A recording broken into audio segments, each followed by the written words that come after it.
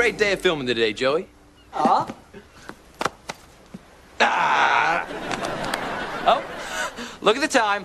How about we take our action hero appetites to Quesadilla Joe's, huh? Josh and I hang out on Wednesdays and Fridays when Maddie has basketball practice. Josh took the breakup hard, so if they were to run into each other, it would be so awkward.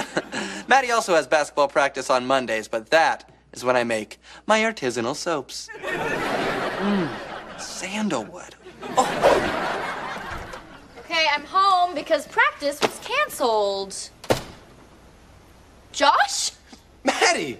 Josh and Maddie. Couple formerly known as Mosh. Hey! I have not seen you since you moved to California, dude. What is up? I'm filming Joey's movie. Didn't he tell you? No. No, he did not. Okay, well, this has been a super special reunion, but let's get out of here before things get awkward. Why, why would things get awkward? We were friends before we dated. No reason we can't be friends now. Yeah, totally. I mean, really, the only thing that's awkward here is that you two are wearing action pajamas. Uh, you totally burned us. Nice. really? You guys are cool? yes, totally. Hey, Joey and I are heading to Quesadilla Joe's. You want to come? Well, we'll change out of our action pajamas.